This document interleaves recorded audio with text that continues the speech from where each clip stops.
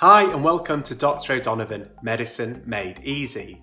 In today's video, we're going to be looking at adenosine deaminase. We're going to be discussing four main things. First of all, what is adenosine deaminase? Next, why is the test used? How is the test carried out? And finally, how do you interpret the test? So first of all, what is adenosine deaminase?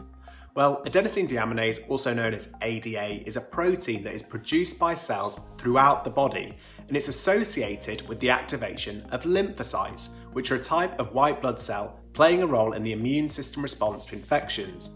Conditions that trigger the immune system, such as an infection by Mycobacterium tuberculosis, which is the bacteria that causes TB, may cause increased amounts of ADA to be produced in areas where the bacteria is present, such as the lungs.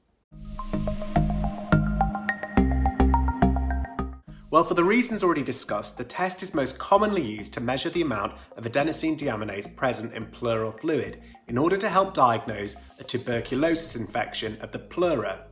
Pleura are the membranes that cover the chest cavity and the outside of each lung. Small amounts of pleural fluid are continuously produced to lubricate the movement of the lungs against the membranes.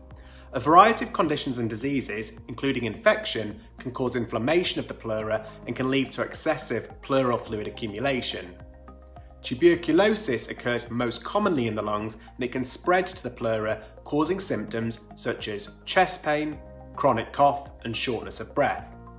Since these symptoms may also be seen in a variety of other conditions, it's important to determine the cause as rapidly as possible in order to properly treat the affected person. The ADA test is not as accurate as a culture for diagnosing TB, however the results will be available much quicker so it can be used as an additional test to help determine whether tuberculosis is the likely source of a person's symptoms. So how is the test carried out? Well, for the ADA test, most commonly a sample of pleural fluid is collected by a doctor with a syringe and needle using a procedure called uh, a thoracentesis.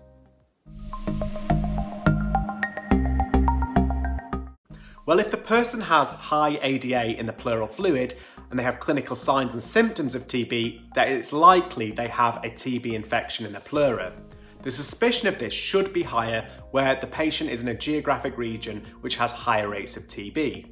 If the clinical suspicion of TB is low, but the ADA is mildly or moderately raised, this could be because of other issues such as cancers causing lymphoma or SLE. It's important to remember that even if the ADA levels are low, this doesn't necessarily rule out TB in another part of the body.